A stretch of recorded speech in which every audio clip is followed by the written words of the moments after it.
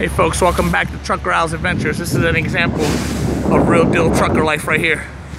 A trailer just cracked itself in half in my yard.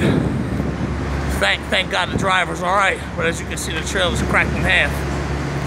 Turned up all the way. I'm trying to release that trailer right now.